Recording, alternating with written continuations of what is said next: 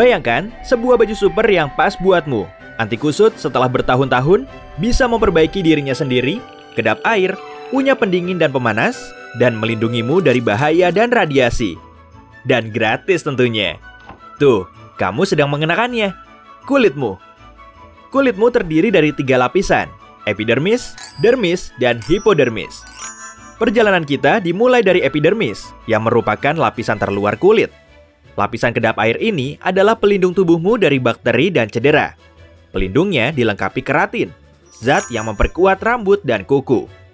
Umur pelindung ini tidaklah lama, namun sel yang sudah mati akan digantikan dengan sel baru setelah 4-6 minggu. Ngomong-ngomong, sebagian besar debu di rumahmu adalah sel kulit mati. Hah, mereka memanggilku butiran debu.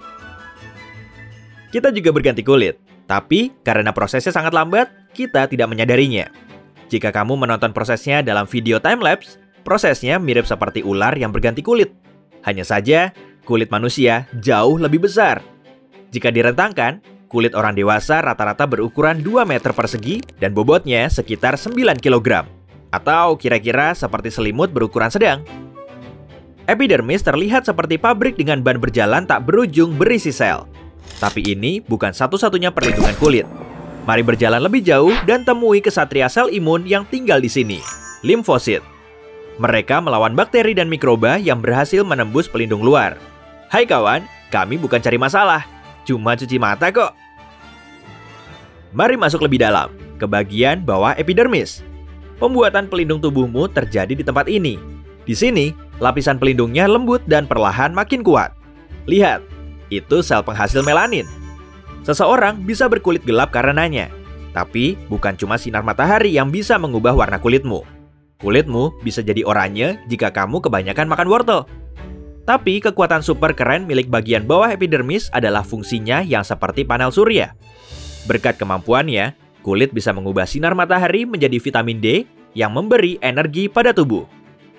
Selanjutnya, kita menuju dermis, lapisan kedua dan yang paling tebal. Tetapi ketebalannya tergantung pada letaknya. Yang paling tebal ada di tumit, dan yang paling tipis ada di kelopak mata. Sekarang kita berjalan menembus kulit tanganmu, tapi perjalanan kita masih panjang. Di dalam dermis kondisinya licin dan basah. Yang pertama terlihat adalah untayan seperti hamok dan karet gelang. Dengannya kita bisa melakukan lompatan akrobatik. Ini adalah protein. Berkat mereka, kulit jadi cukup elastis. Lompat sekali lagi, dan kita mendarat di dekat dua hutan. Yang pertama adalah hutan saraf dan perasa. Aduh, jangan disentuh, mereka sangat sensitif. Saraf merekam bahkan setuhan yang paling kecil, perubahan suhu, dan mengirim sinyal ke otak.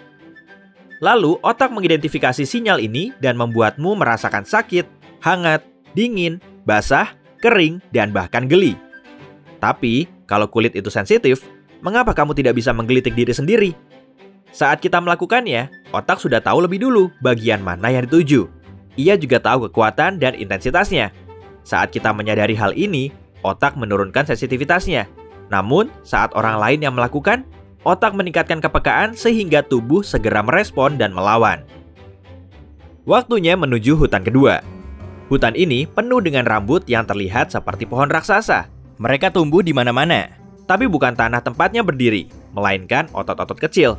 Saat takut, kedinginan, atau bahkan mendengarkan musik yang luar biasa, otot-otot ini berkontraksi, membuat rambutmu berdiri tegak. Ada banyak pembuluh darah di area ini untuk menjaga suhu tubuhmu. Saat kamu berolahraga di gym, pembuluh ini mengembang untuk mendinginkanmu. Jika kamu berada di jalan yang dingin dan lupa mengenakan pakaian hangat, pembuluh darahmu mengencang untuk menyimpan panas sebanyak mungkin. Tapi, jika kamu lari maraton di bawah terik matahari, lihat, kulitmu mengucurkan keringat dari sini. Ngomong-ngomong, keringat sebenarnya tidak berbau. Bau busuknya muncul saat menyatu dengan bakteri kulit. Kita sudah melakukan pendinginan. Sekarang, mari kita bertualang lebih jauh. Lapisan ini sangat indah dan memukau.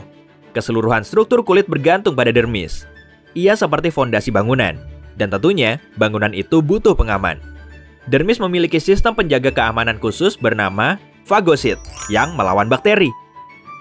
Sepertinya hanya ada bakteri jahat di sekitar kita, tapi ternyata ada juga yang baik. Mereka muncul bersama dengan minyak yang diproduksi kelenjarmu. Bakteri ini membantu sistem kekebalan tubuh melawan mikroba jahat. Saatnya meluncur ke lapisan kulit yang paling dalam, hipodermis. Permukaannya sangat lembut dan berminyak karena lemak. Lemak di mana-mana. Namun, berkat lemak ini, kita bisa duduk dengan nyaman. Tapi, ini bukan satu-satunya fungsi lemak.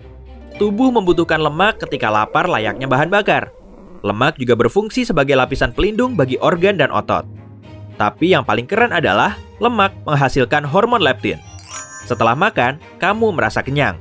Ini bukan karena perutmu penuh, tetapi karena sinyal dari hormon leptin. Benar, lemaklah yang mengendalikan nafsu makan, bukan perutmu. Misalnya, sebuah bakteri kecil tapi cerdik berhasil menyusup dan melewati pasukan pengaman. Lalu, masuk ke bagian dermis, meluncur melewati kelenjar minyak, melalui hutan rambut, dan lolos dari fagosit untuk kemudian menyusup lebih jauh ke dalam lapisan lemak. Bakteri itu berhasil melewati lapisan perlindungan kulit dan sekarang bersiap menginfeksi tubuh. Tapi, jangan senang dulu. Dia dalam masalah besar sekarang. Hipodermis juga punya penjaga kekebalan tubuh yang disebut makrofag. Sel ini dibuat di sumsum tulang. Saat alarm bahaya berbunyi, prajurit inilah yang akan memusnahkan para tamu tidak diundang itu. Dan sekarang kita akan melihat fitur kulit yang paling keren, regenerasi. Saat tersayat, luka akan tertutup oleh gumpalan darah. Kulit ini mengeras di bagian luar untuk melindungi tubuh dari masuknya makhluk asing. Lalu, muncullah fibroblast dalam gumpalan tadi. Ia memperbaiki luka dengan jaringan parut yang punya peranan penting. Bayangkan jendela rumahmu rusak.